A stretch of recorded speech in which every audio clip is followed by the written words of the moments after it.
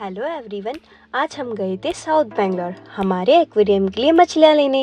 वहाँ हमने variety of arowana oscar कोई गोल्डफिश लॉबस्टर शार्क डॉलर और गुरामी देखी। और फाइनली हमने दो एरोवाना दो गुरामी और चार गोल्डफिश खरीदी।